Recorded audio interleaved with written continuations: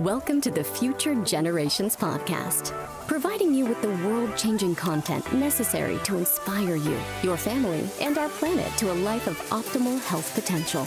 We'll help you make the choices that powerfully influence the lives you bring into this world.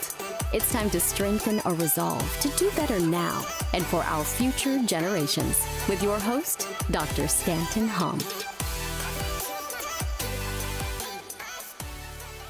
Okay, welcome to another episode of the Future Generations podcast. I'm your host, Dr. Stanton Hom, and this is this is an episode I've been looking forward to for I would say I don't remember when you popped up on my radar, Dr. Melissa, but I I heard Kelly Brogan speak in like 2014, 2013, 2014 at the Freedom for Family Wellness Summit by the ICPA. And she, in one of her talks, which she was a very different iteration of who she was back then. Um, she did a whole conversation on German New Medicine. And it was the first time I had heard those words put together. It never led me down the path to study it. And then if I were to fast forward over the last, you know, three years or so, I have seen a an emergence of a voice that I feel has spoken to a core of who I am as a practitioner, a core of who I am maybe philosophically as a human being, and then maybe just a core of who I am biologically that um, is you. And so, for those of you um, who don't know who Dr. Melissa Sell is, um, I'm very excited to have this interview. But Melissa, I'd first have you introduce yourself. I'd love for you to introduce yourself so our audience gets to know you both personally and professionally. Yeah, well, thank you so much for having me. It's great to meet you. I've said before, I feel like I know you already just through, you know, all of our mutual mm-hmm. connections. Mm-hmm.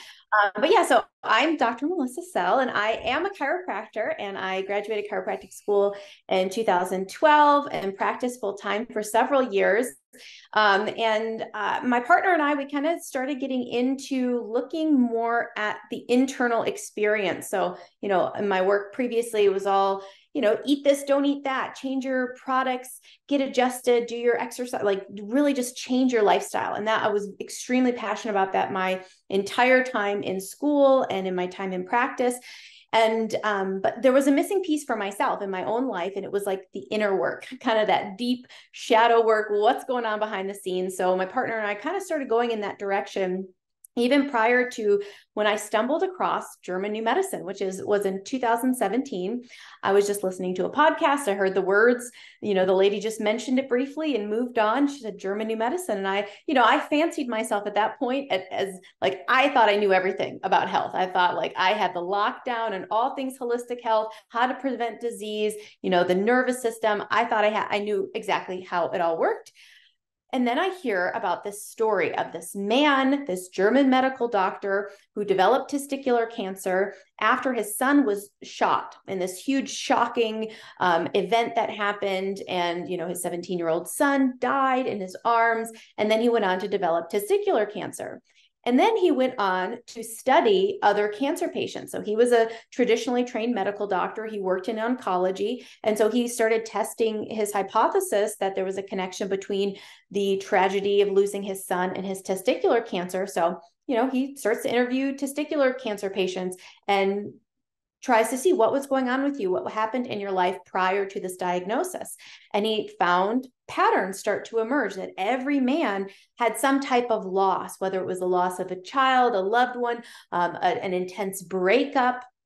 A betrayal, they lost someone in their life, and the testicles um, developed cancer and women with a glandular breast tumor they always had a profound worry experience everyone with lung cancer had some type of death fright death of themselves or they're fearing the death of someone else.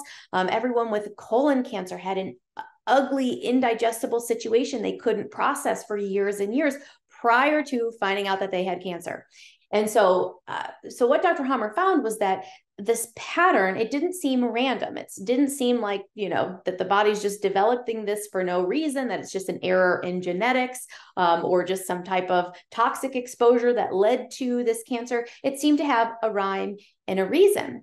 And so he then went and looked at the brain. So he's like okay these people are having some type of complex intense emotional experience and their physical tissues are changing in specific ways, there's got to be something going on in the brain as the control system that is relaying the outside to the inside. And so he looked at CT brain scans and he found that there were impacts in specific areas of the brain that always correlated with that organ. And so the these laws of nature started to emerge for him and he ended up mapping out every tissue in the body based on embryology, which is one of the things that really drew me to this work because you know in chiropractic school, one of our first classes is the, you know, embryology and studying all the germ layers and so that was a very I I loved that class in school. So when I saw that he correlated each different uh, you know, because there's different types of cancers. He looked at the specific tissue type of that cancer and found that it followed a specific pattern and that different germ layers, diff- different tissue types follow a different pattern. And he correlated all of this again to the brain, to the experience, and has mapped out five biological laws. So, needless to say, my mind was completely blown when I came across this information. And then I started observing first my own experience and saw the consistent patterns again mm. and again. You know, one of the first things for me was with acne. I went through the whole journey of all the things I thought caused acne. Is it not washing my face well enough? Bacteria getting down into my pores? You know, and I would wash my face with uh, alcohol and, uh, you know, rubbing alcohol and uh, acid and all these things that just burn off all of the bacteria. I'd still have breakouts. Then I thought it was diet. And I was like, I'm going to have the perfect diet and I'd eat clean and my skin would get a little better, but I'd be eating clean and I'd get a breakout. Then I thought it was gut bacteria and eating more sauerkraut and having probiotics. Same pattern. It would get mm. better for a little while. I'd be doing all the right things and then I'd get a breakout. And it wasn't until reading Dr. Hamer's map, understanding that acne comes from the dermis, from the deeper layer of skin than the sub- sebaceous glands in the skin.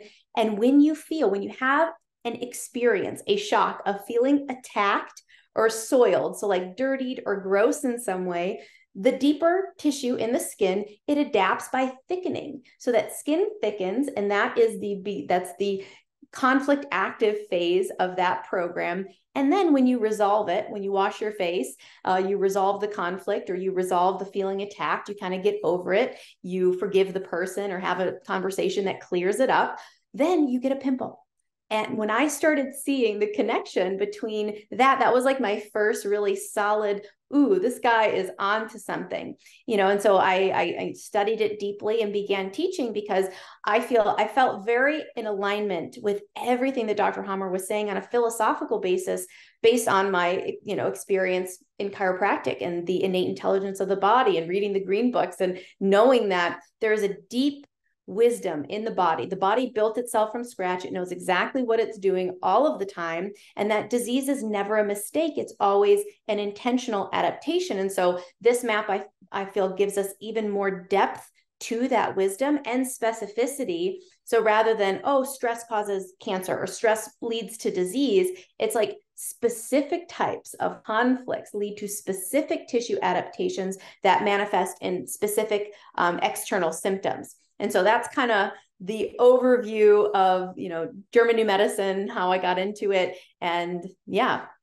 It's kind of interesting. Um, as I was sharing with you before uh, we hit record, as my face stopped working and I had right-sided Bell's palsy, it was it was interesting to read through and what I had read through, and it's similar to what you just said that that even an externalization of a symptom, right, a, a acne, right, versus a pimple, like even having a framework for the the progression of a of a dis- disease pattern right that that largely we don't really have context for. Like we just think symptom bad symptom bad get rid of it right? And obviously not the listeners of this podcast and not obviously you and i but collectively society is is like symptom symptom bad. And and for me it was like i was reading through some of these notes and was like the the the presentation of actual facial drooping and bell's palsy is actually a sign that there's already been some sort of process and and transformational healing and the and and the and the the physical manifestation is a sign that it's moving through the body which is very it was so weird to just read through because i was like uh this this thing on the side like my face is not working. How could that be a sign of of healing you know? And so it was an interesting um but very powerful because it took this amorphous um blob and this is me being say like you before you walk down this path of german new medicine i consider myself really smart and i consider myself very very well versed in um, obviously chiropractic and exactly like you're saying lifestyle transformative guidance you know and, and shepherding and mentoring and leading and people but then also just recognizing the nervous system is a master system. But i was humbled and I, and and i was really like looking for an understanding and it was the first time that i read something that i was like ooh oh interesting. Oh there's like real context. And for me at the time there was this litany of emotions, emotional stress and problems per se. But when I read through it, I was like, ooh, I'm very refined. This actually speaks to me. Like losing face, like spoke to me. And it was like, it was very powerful. I really appreciate your context because it was very selfish of me to want to interview you because I have a feeling it was gonna gonna really help my journey as well. So that's awesome. Yeah, it's cool. I mean, so even just in that example, so the, you know, the muscles, the motor function of the muscles, you know, is controlled from the motor cortex. And when we have, you know, something that causes us to feel frozen in fear, you know, so the face specifically is like, yeah, a loss of status, loss of reputation or respect, or in some way feeling, yeah, exposed or, you know, ridiculed. So loss of face the biological reaction is like this frozen in fear. And we know this like animals, they play dead. It's like the play dead reflex. Mm-hmm. And so when we have decreased motor function to our muscles, it is the our bio the ancient biology's way of protecting you. So it says oh no we need to paralyze this muscle group so mm-hmm. that there's no movement there so that we can get out of this danger. So that's like when again when we're kind of decoding what the symptom means we have to look at it in the ancient context. Yeah. when was this beneficial? And it's like of course it would be extremely beneficial to actually not even have it's not like the animal is faking playing dead. It, it like it's bio- biological biologically not having motor signals going to the muscle. So it's kind of functionally dead in that yeah. sense. So when yeah. someone with MS or any kind of um, motor paralysis symptoms, whether it's Bell's palsy or you know that you're just like, oh yeah, like MS is how people um, often will will see motor symptoms manifest. Is that it starts with paralysis during the conflict active phase, and then when you resolve the conflict, you get spasms. And so when a person is twitching or has spasms and it culminates in a seizure, that's the epicrisis. That's like the height of the healing. Wow. You know, people get out when they have a seizure, but when you understand that it's actually the end of the program, you're going through the healing crisis, how you react. And that's one of the huge things that reframes when you understand the laws and you understand like the healing crisis and that it's going to be this big might be scary event but when you understand oh that means i'm on the other side of it. Yeah. instead of going you know in and having it all diagnosed and then they say now oh you have a condition you ha- you know you have to take these pills for forever because you know they don't know where seizures come from. They don't know why they happen. They just look at a few data points and they say oh you have this condition. But when you understand the laws it's like no this makes yeah. perfect sense so to go back to what you were saying before, the germ layers, you may have lost some people there. That happens like week three, right? Week three or so embryo embryological development. Um, I've said for many years now that uh, there's actually only one way onto the planet. Like there's like human gestation, and there's no real escaping uh, this this journey right through pregnancy and there's no opting out, there's no unsubscribing, and we're all born to some degree through this really miraculous process that is just our biology. But it is the, you're saying that the relationships of that, that developmental stage stay essentially long term. So the ectoderm, the mesoderm, the endoderm, that kind of structure, because they're very uniquely foundational for where every part of the body develops out of. Um, I've learned something very similar through like functional neurology. I believe we call it homologous, homologous, homologous columns. That neurologically there is an infinite relationship to organ function and neurological function, which goes all the way back to those same layers, essentially, what you're saying as well. It's not just neurology, exactly. it's biology, which is far, in my opinion, far more enveloping and superior than than just the neurology, right? It's beautiful. Yeah, and it's all intertwined, you know. So the brain, the psyche, the brain, the organ, you there's there's no way to separate these things. The mind is not separate from the body. The body is they are everything about it is all intertwined because that is how organisms survive. And that's mm-hmm. where, you know, the, the core of this is, you know, nature does what makes sense. I love I use the term biological because yeah. it's life logic. So bio is life and it's what makes sense in order for life to keep going.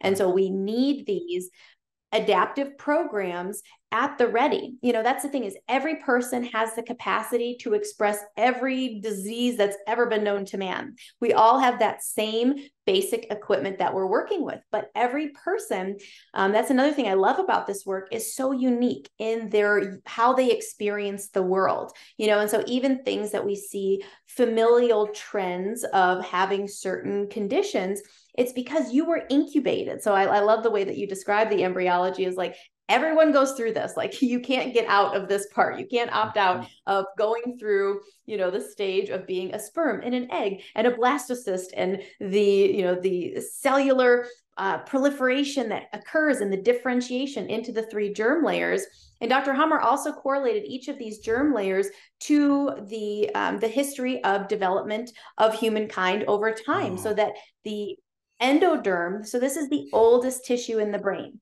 And this is like, if you just think about the most basic organism that's, you know, in the ocean, it's like a ring formation. It's got one opening for the mouth and, and for the waste expulsion. It comes in. So, the food comes in through the cloaca, through the opening. It makes a right hand turn. It goes around this very primitive digestive system and exits out the left, out that same opening. So, that's this basic ring shaped um, primitive organism. And if you look at the brainstem on a brain scan, you can see the formation of each of the organs that you would pass through during that journey. And that's where the control centers are in the brain for the brainstem.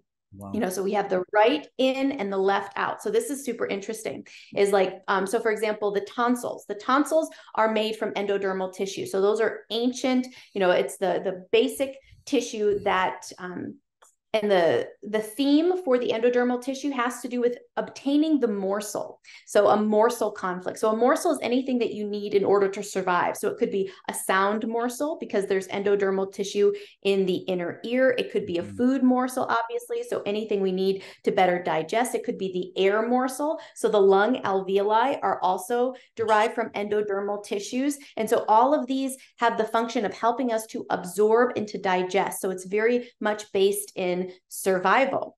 And so the right tonsil, the conflict for the right tonsil is not being able to insalivate. I need to better insalivate a morsel. And so the right tonsil will grow so it can produce more uh, saliva so I can better insalivate and break down the morsel. And now, so that because it's on the right side, now the left tonsil and all of the uh, left sided endodermal derived tissues have to do with getting rid of the morsel. So I want to spit this out. So again, right in, left out. The thyroid gland, same thing. It's about feeling too slow, is the theme for the thyroid. So the right side of the thyroid, the conflict is feeling too slow to catch a morsel the left side is feeling too slow to get rid of it.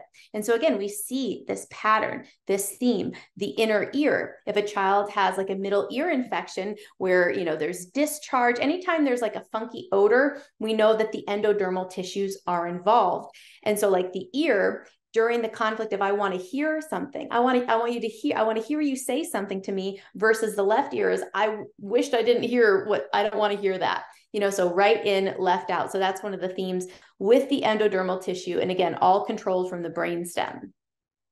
It's, it's, it is so wild, right? Because we have been through this thing over the last three and a half years. And something that I've been saying for, for a really long time is when they say losing taste and smell, or some people develop some sort of vertigo, or some people develop Bell's palsy, or some people are developing, you know, certain eye issues. Um, all that's brainstem, right? And and and and most people consider them different conditions different body parts which you would give a framework for why somebody would present that way but neurologically i would look and be like wow like it's actually rooted in a very similar kind of neurological place but then you would say the presentation would be uniquely bio-individual based upon what that unique maybe even perception of the world through their own value set could could create certain different disturbances inside you know? It's kind of it's kind of a wild i hope we're not going too intellectual right now for our listeners. However i i i, really really really really appreciate that because i think what people what i hope people are getting uh, are getting from this so far is that it isn't just that your emotions or your view of the world affect your internal physiology or your internal like resiliency or your ability to self-heal and self-regulate and adapt. It's how right? It's how they do.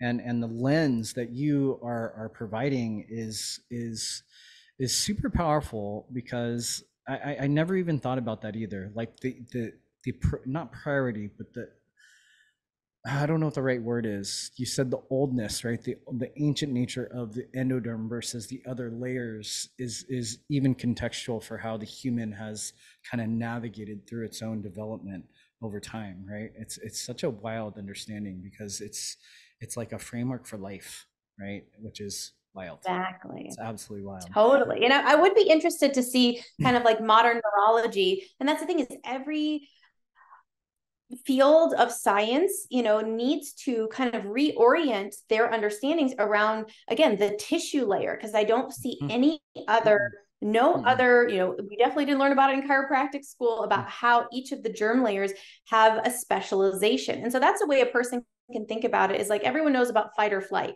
but you can think about this as like specialized specific fight or flight adaptations in response to specific things that happen. You know and this is highly so yes we can get like super nerdy and into all of like the details of the science of how this functions but on just the most practical level it is paying attention to the symptoms that show up and the themes in your experience and and decoding it. So for example you know one of the uh, conditions that i've seen great success with tons of people that i've worked with have been able to clear up psoriasis eczema you know rashy itchy skin conditions. And so rashy itchy skin conditions have to do with separation conflicts and so a separation conflict, it's like, so we've got this, you know, this is the ectodermal layer. So it, it's controlled from the cerebral cortex. And so this has to do with physical touch and being cl- like closeness. I want to be close, you know, and this starts obviously right out of the womb, you know, immediately the, you know, how you spend those early hours and days of your life really set up. Do I feel, you know, secure? Do I feel like I've got the connection and touch? Because touch for an infant is survival if I'm not being touched and held, um, that means that I am in imminent threat, imminent danger. You know, if I can't smell my mother, if I don't have skin to skin contact with her, you know, I'm I'm basically dead. You know, and that that's what the primal ancient part of you is experiencing um, and so that's why you know closeness is everything. And now when we don't have that closeness if, if we you know have it for a little bit and then it's taken away from us you know the the skin literally will thin in that area. And the functionality of that is to numb. Also when we have separation conflicts we have memory loss. You know and this is like the classic you hear i remember being told when i was a kid oh you know if a cat loses its kittens she forgets about them. You know she forgets they even exist. And it's like it's be, that's because nature is merciful. And if a mother you know loses the child and we're separated from who we want to be close with you know the brain just says okay we, we can forget that. So kids little kids with you know what they call ADD or ADHD it's like they're dealing with often separation conflicts also motor conflicts. So being stuck in a chair and being separated from mom. So I've got memory loss. I can't remember to bring my backpack. I can't remember you know all these things and it's and it's indicative of separation conflicts and not having the closeness. And then you add, you know, rashes on the skin. Look at the handedness. If you are right dominant, your right side is your partner side. And if and your left side is your mother child side and then it's opposite for left-handers so basically your non-dominant side is like your caregiving side and so either you know your mother or your child is going to be um, the symptoms associated with that person is going to show up on your non-dominant side and anyone else basically is going to show up on your dominant side. So with with that what I appreciate more than anything is just is the context, right? The context of and the depth and the meaning of of our unique presentation, however we do present from whether it's a physiological level or a symptomatic level. This is a more broad question, but what would you say is one of the biggest like challenges we face today as a as a i would just say maybe even as a species because because you're so you're so biological wide you know? I'm curious if you give give me a framework for that. Well it's the non-biological living. Like everything about how we live is not oriented to our biology you know? And one of the big themes that's been coming up lately is just talking about you know women in in society and feminism and just the idea that um, that the woman is equal to the man or the same as the man. And the thing is is that's not true. Biologically yeah. biologically women have different like we can our equipment is different. Like the man has bigger hands and bigger bones and bigger muscles and is equipped for protecting the territory. The the female has smaller hands and has you know better ability to detect different sounds and and different colors so that she can care for the young. So her whole biology is specialized for raising children whereas the man he's specialized for protecting and defending the territory. And so that isn't just a social construct that isn't just gender roles and things that we just fobbed off as oh you know that's not true that's just society. Absolutely not. That has mm. come out of biology you know and even you know when you look at the biological themes that come up this is it's all it was oriented in the biology first and then the language came out to describe the biology. So even think about when people say i want to bite his head off or i was sick to my stomach or i was crawling out of my skin or i need to grow thicker skin. Where do we have all of these you know all of this language that so perfectly describes what's actually happening on the tissue level? But the language came after the biology. The biology was here first and mm-hmm. then we have you know grown out of this biological system. And so in order to become healthier we need to return to biological order because if we don't again we are in a society that is illogical that everything we do is inverted and reversed. And you know women not having babies in a physiological way you know cutting the baby out of the body feeding it with a bottle not having that closeness and connection so mom can go back to work you know and it's just it, we have to look at how that's affecting us as a species you know so we have a lot of kids today that were raised in that manner and they you know they don't have a connection to their body. They don't have a connection to their parents. They don't have a connection to their their lineage and what allowed them to survive to this point. And we see epidemic levels of infertility and non-interest non-interest in continuing the species which our an- ancient ancestors would be like what are you crazy? Like how do you what do you think is going to happen next? If you don't keep this game going then the game is over. And biology and nature nature just wants to keep playing this game. It just wants to keep you know uh, configuring let's bring two together let's shake up and see what happens. Nature really wants to do that but when we live anti-biological lives um, people become uninterested in doing that. And you know if we extrapolate that out over time that doesn't end well for our species. And so returning and, and looking at where am I living out of harmony with my biology. And I do think that there is a way that we can kind of utilize the benefits of technology without, you know, merging with technology and actually, because that's the, you know, you know, that's the kind of big nefarious goal is to merge the people and the you know really actually upload everyone into the matrix um, and so returning to biology learning this biological map that has been suppressed intentionally suppressed hasn't been you know dr Hamer he had legit like studies and showed he, he would do these university board panels where basically all these university doctors would be there and he'd have a case and he'd look at the brain scan and the person's history and he'd be able to pick out exactly what was going on with them you know and he was accurate every single time. And basically to the point where you know he had university verifications but it was never taken to that you know that bigger level where they actually accepted it accepted what he had to say. Because you can see how it jeopardizes if people knew this it jeopardizes everything about the system as it is.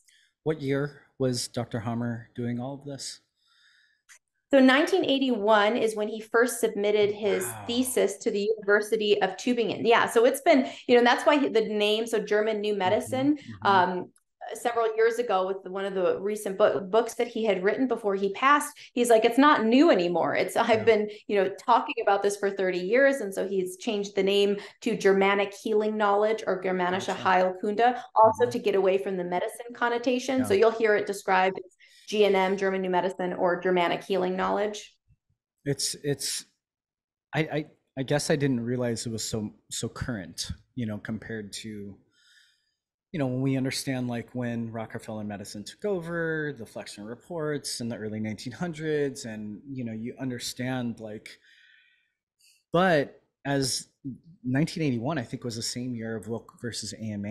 I think that was the same year that chiropractors took the AMA to court, won, you know, and found them guilty of an illegal boycott on chiropractic. And they discovered the Commission on Quackery and the foundations for all the psychological operations that, you know, make chiropractic the black sheep of the black sheep of the black sheep.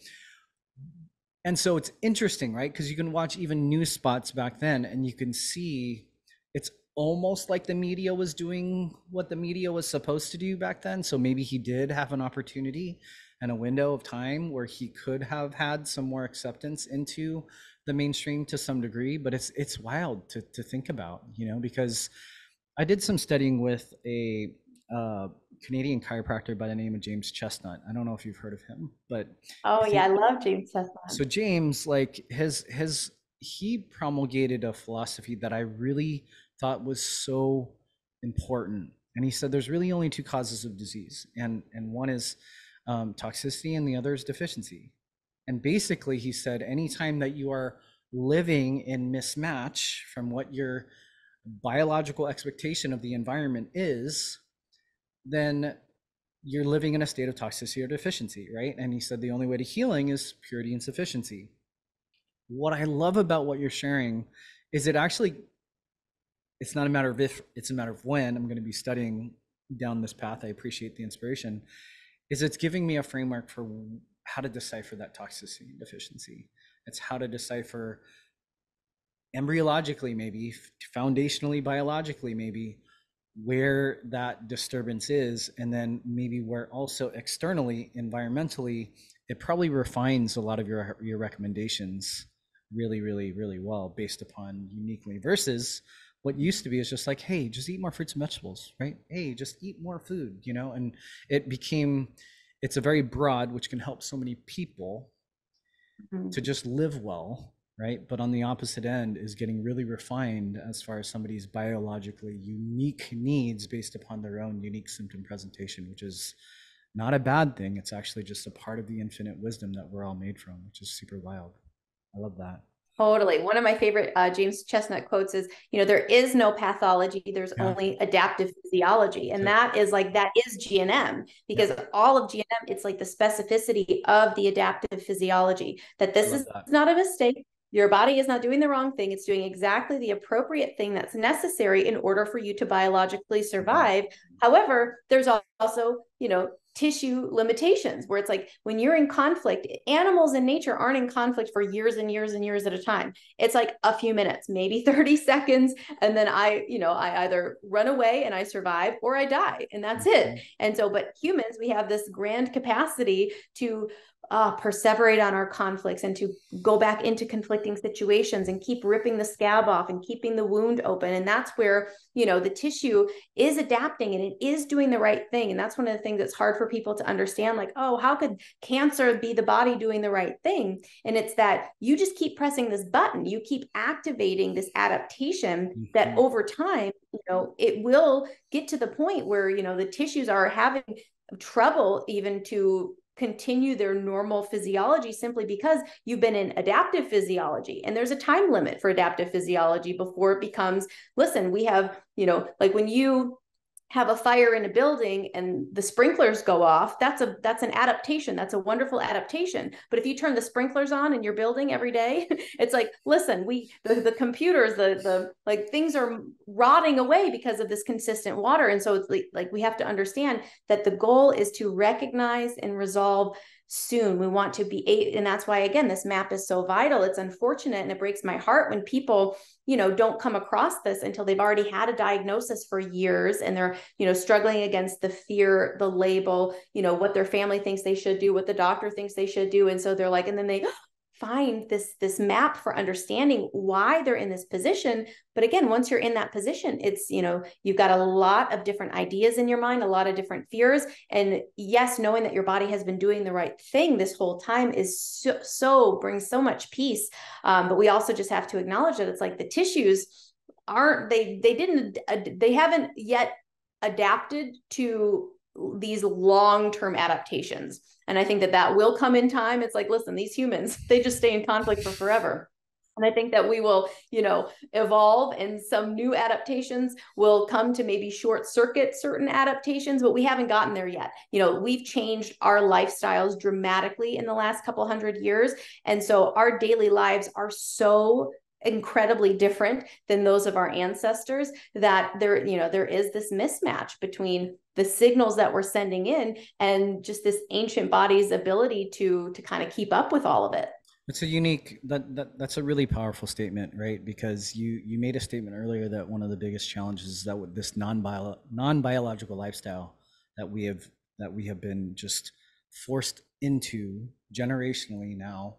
And i would i would say that we are seeing maybe what that adaptation is or that that that maladaptation is per se is in our kids like our kids like we we specialize in children we specialize in pregnancy and we see very clear as day uh, kids that come through our practice when moms are under prenatal chiropractic care and they understand what conscious birth is and we see kids that are referred to our practice and this isn't to shame or, or, or marginalize anybody who is on either side but there is a there is a tangible difference which is why i activated over the last three and a half years is because we have a framework which i still am humbled with the fact that i don't believe we know what normal is although we can see a black and white difference of what people who have been brought into the world in a more biologically aligned perspective versus a non biologically very traumatic entry into the world um, it's it couldn't be more black and white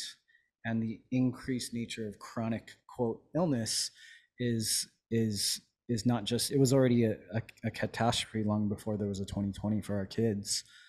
What would you say how would you verbalize your mission today?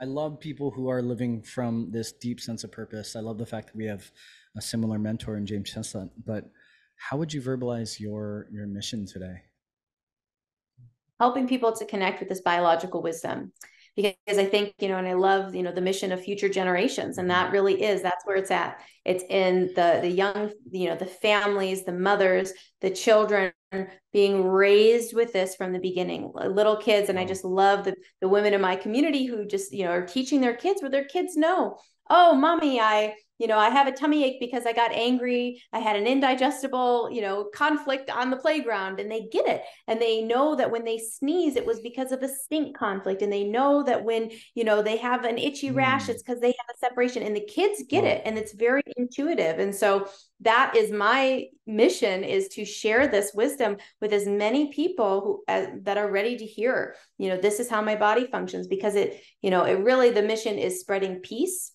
you know and i find that that peace and that freedom comes through understanding because if, if we are living in these bodies our whole lives and we're living in fear and fear of disease and fear of sickness and fear of germs and things that can come it, like when you're living in that fearful state that um, that that's the the generation of all these adaptations. It's the fear it's the shock it's the am i going to survive and so when you understand that there is nothing to fear, that there is no germ, there's no gene, there's no part of your body that ever will turn on you, that it's all are you cultivating peace and harmony?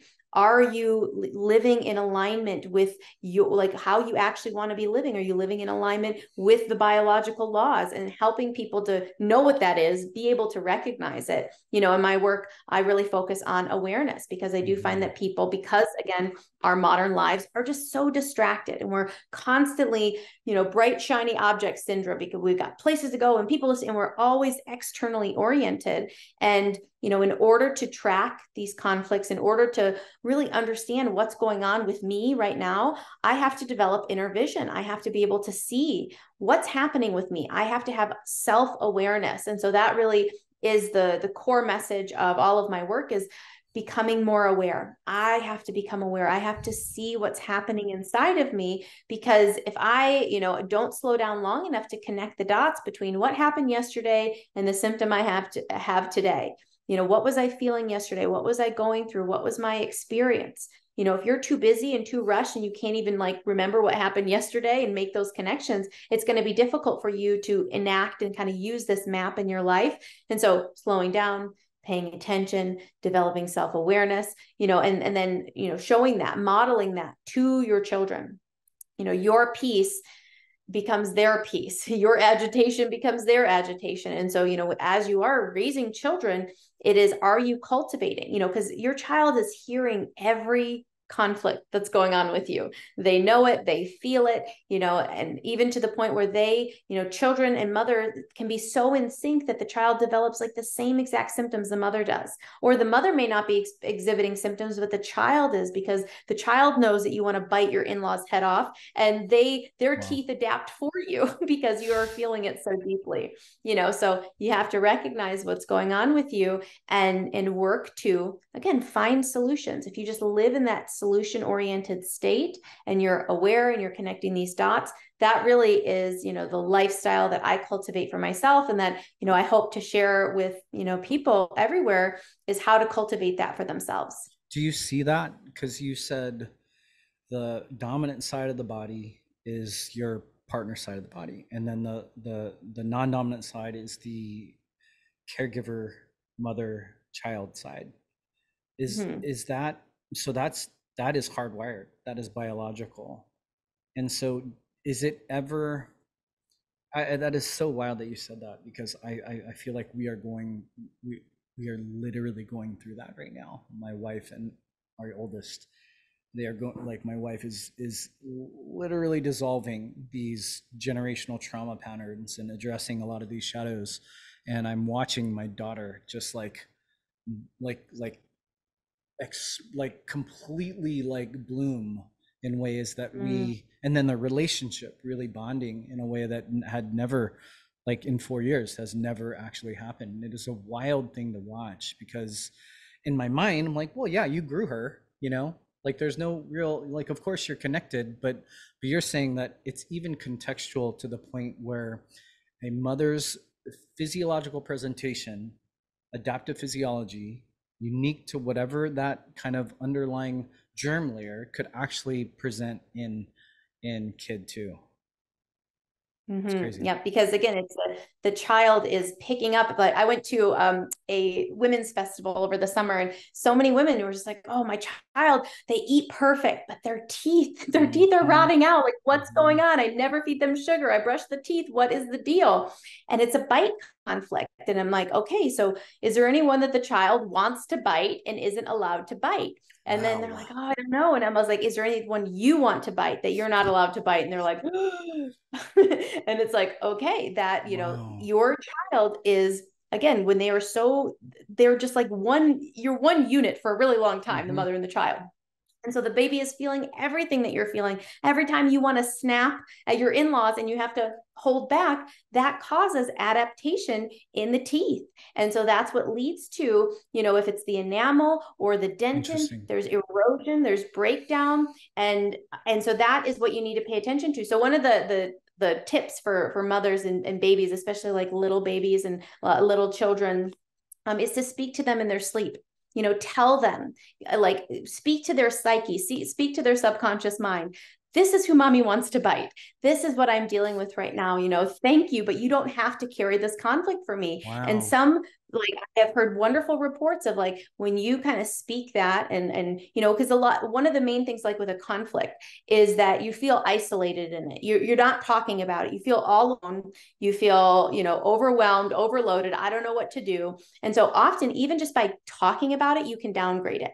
So mm-hmm. talking about it bringing it out of the darkness and into the light kind of just sharing with the child your real human experience and you know letting them know they don't have to carry it. Sometimes literally that can cause everything to turn for them. Just because you you know unburdened and you helped them mm-hmm. to release this thing that they were holding on to again because they're you know their biology is just trying to help you. Your biology is trying to help them. So we are working in these units together as a family. And uh, so that's really cool that you guys are seeing that in your in your family. And it's it's it gives also again context to oh your life is a mirror. It's like or your children are mirrors of you. They're the opposite of you. It's like actually they're they're they're biologically expressing the thing that perhaps you need to be reconciling to some degree. Mm-hmm. it's it's it's really powerful.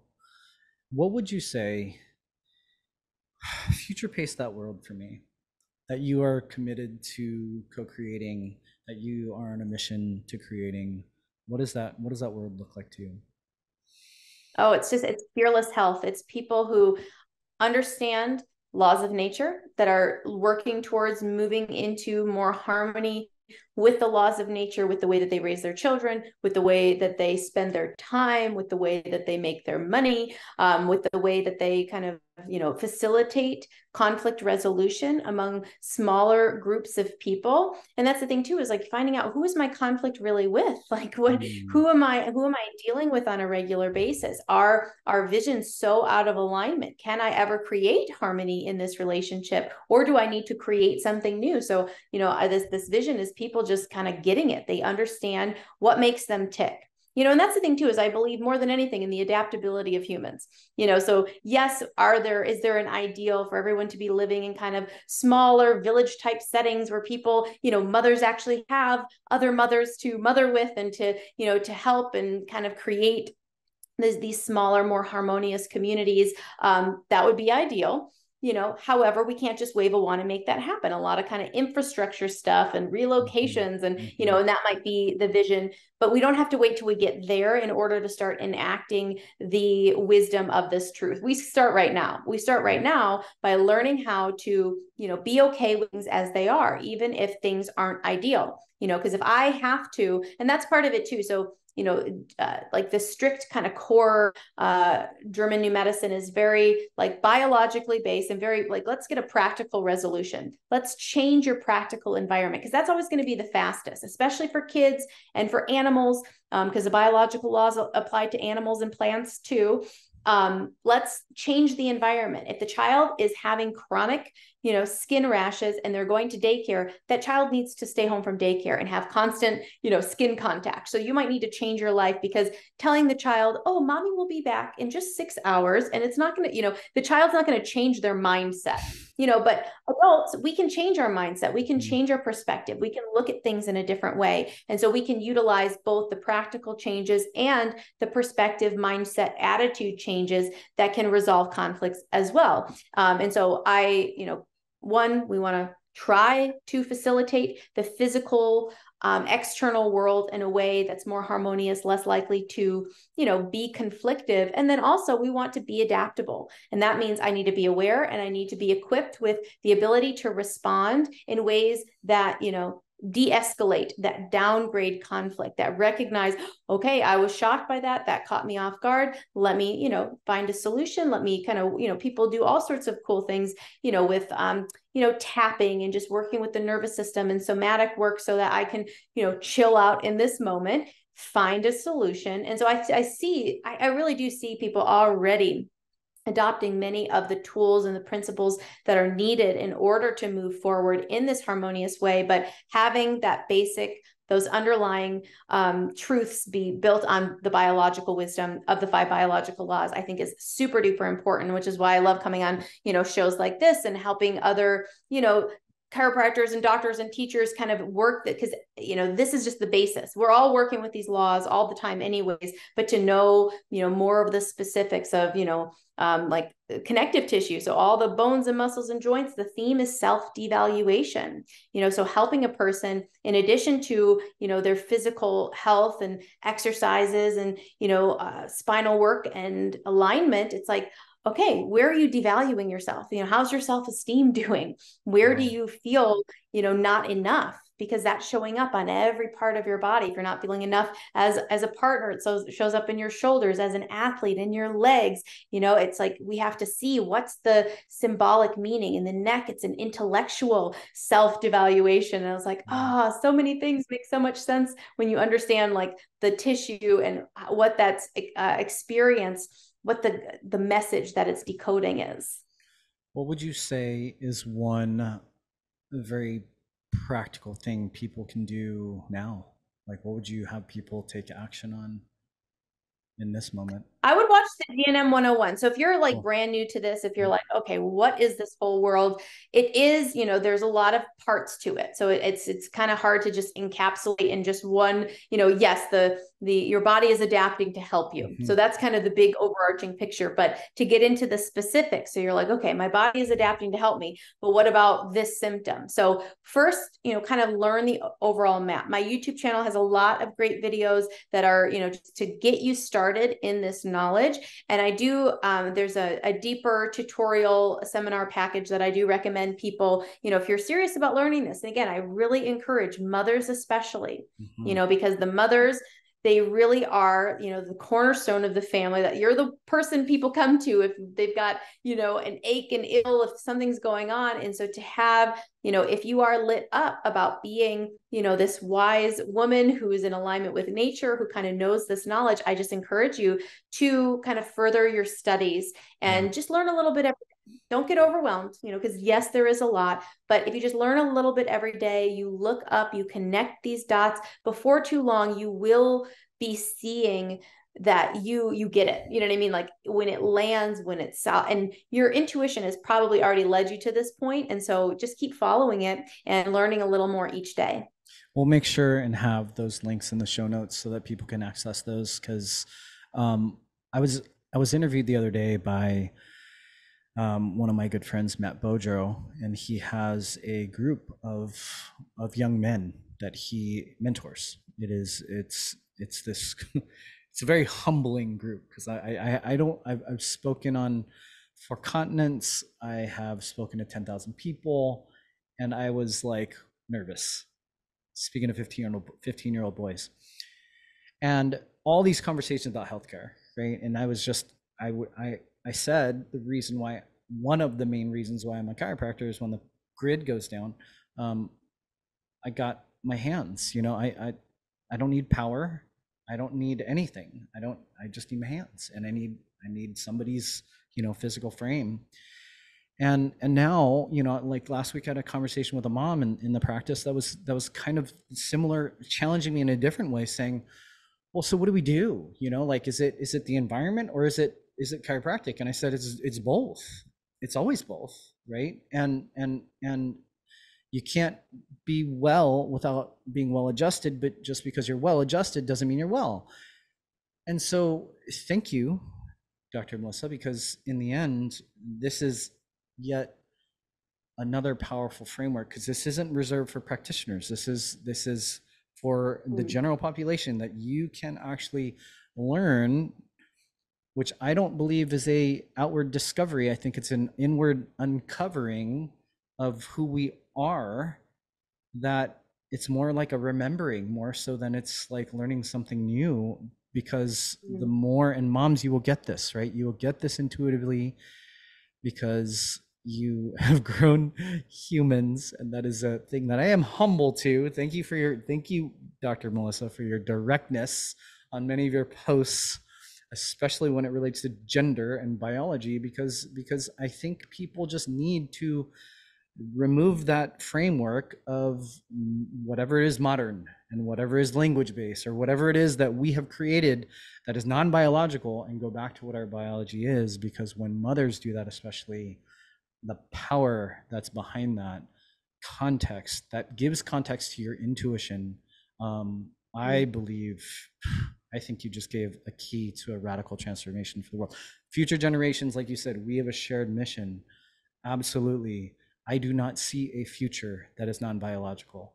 And that, and as a as as a chiropractor but also as the leader of this organization and key part of this movement um, there is no future if we keep going down the path of non-biology. I love that. I appreciate you for that Yeah, totally. It's good stuff. And I, you know, I just love sharing with people, you know, on this mutual path of just like freedom and Mhm. health and Mhm. uh just connecting with that innate wisdom because it's all there and you've got all the answers and you you know like people are just there to be a mirror to show you what you already know what the truth that's already you know cooked into every part of you Totally. and it's just just aligning with it and recognizing it because that's the thing is like any mother who's grown a baby knows that the body is amazing and knows exactly what it's doing you know? And so just to recognize that on the deepest level and to see that absolutely every little thing the body is doing is is an answer. It is a response to something that went on at the psycho spiritual level. And by you know seeing and connecting these dots it's like